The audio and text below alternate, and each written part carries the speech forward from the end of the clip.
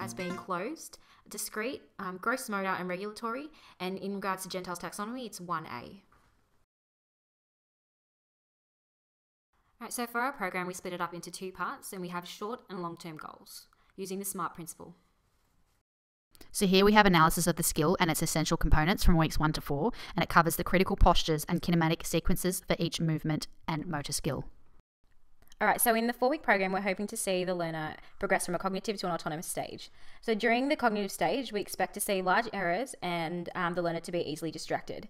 During the associative stage, um, this is when the movement becomes more refined um, and the reinforcement occurs in order to make um, progressions. So, coordination and proper muscle recruitment and sequencing become more accurate and efficient. In weeks four to five, we hope to see the learner reach the autonomous stage. And by this stage, the skill should be refined, um, fine tuned and occur efficiently. Shorter sessions are implemented in the beginning due to a short attention span of the novice learner. So the first session may start from about 30 minutes, and as become better to um, better able to execute the skill, the sessions may run for 45 to 60 minutes two different ways of measuring performance. Um, you've got qualitative being um, non-numerical and quantitative being numerical.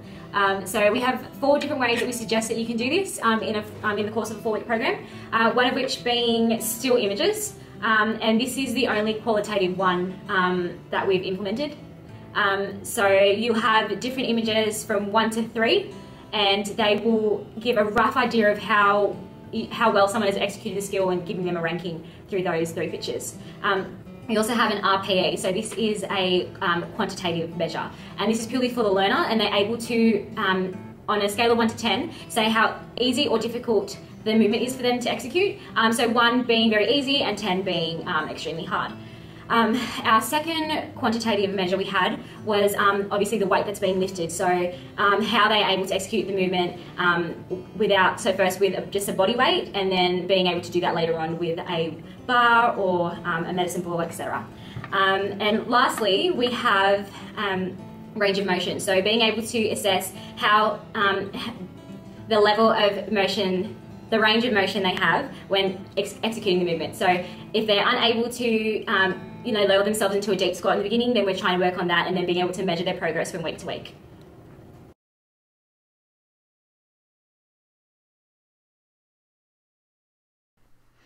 So as you can see, we have weeks one to three of the squat and the variations that come with it. We have three pictures, one, two, and three, three being perfect, two being slightly less, and one being not correct form.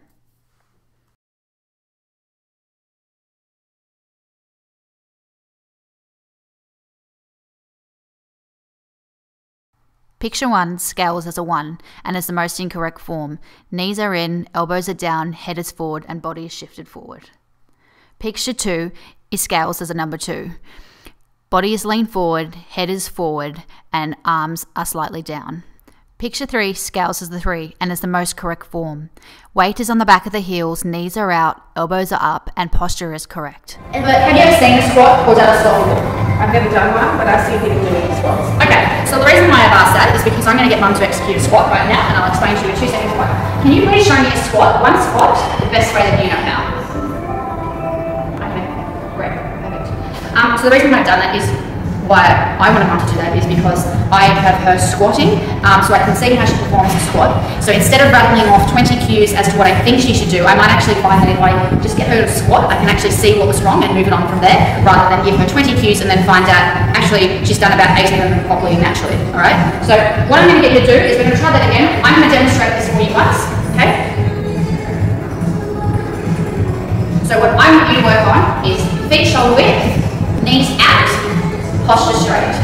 And I can get three squats from you. As you can see, there was a demonstration of the skill in its entirety in real life time. Next came the verbal cues. For a learner, you don't want to throw too much at them so they get confused. We have come up with an acronym of CALMR. The joke is keeping your client calmer, which means C for concise, A for accurate, L for limited number, M for meaningful or specific to the learner, and R for repeated. Scale 1 to 10, 1 being super easy, 10 being really hard. How'd, that, how'd you feel that? About 3. About 3. Perfect. So our learners um, scale that on an RPE scale, 1 to 10 being 3 out of 10. So not that challenging at all. And I would say it's pretty safe to progress her into the second week. Today we're going to be using dumbbell.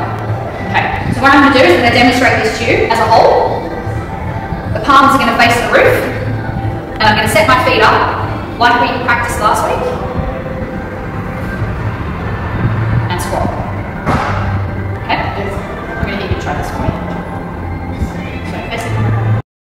So here with effective communication, we're going to talk about what, who, how, and when it should be demonstrated and organised.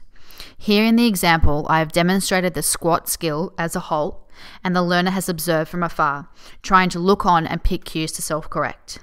The four occurring processes are attention, retention, behavior reproduction, and motivation.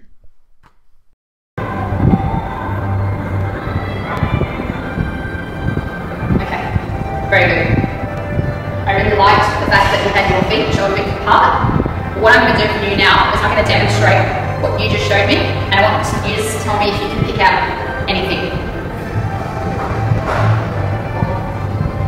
I think your back is too far to forward to the ground. So your back, my back is too far forward to the ground. Correct. Shown here is verbal and demonstration feedback. Later on, you can see physical feedback and tactile feedback, which fall under the umbrella of this augmented feedback section. Much better. Can I get three more? So, here in week three, we are learning to unrack, squat, and re rack the wooden dowel. Each phase is done in separate motions in part practice, and at the end, we've done it as a whole. For each week, there are options to progress and regress. Progression would show possible mobility, posture, strength, and stability, confidence. Regression would possibly come in the forms of failing one of those categories.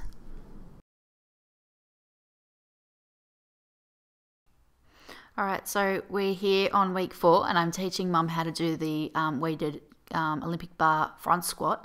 And what we're talking about here is um, where we're placing the bar on the chest. We're talking about foot placement, and we're talking about the cues that we spoke about earlier in the program, which were high elbows, posture, knees. And what I did was I got mum to repeat them. So she repeated them out loud for me, and she got in and she actually did the squat herself, repeating them out loud. So here we have the retention test at the end of the program, and what I did was I explained to mum I couldn't give her any cues, and she had to get in and perform the squat from last week, and this is exactly what she did. So the front squat will be learned in part practice because the complexity of this movement is high and the organisation is low. The part training method used is fractionization, so where the main components usually trained simultaneously are broken down. For example, training the front squat without weight is reducing the difficulty of the skill. The front squat, unracking, and re-racking will be learned as part practice as it is high complexity and in low organisation, so we're reducing the difficulty of specific skills. Simplification also reduces coordination requirements of a skill, reducing attentional demands. So we're starting with the body weight and then finally progressing to the weighted Olympic bar front squat. All right, so here's five, week five transfer test. And what we're doing is I have put together a little workout for mum. So what she's doing is she has to execute um, three skills before she gets to front squat. Um, we've already had her do push-ups. She's currently rowing. We'll have her move to the TRX row, and then she's going to walk in, and after all that, execute the movement that we practiced and executed in week four.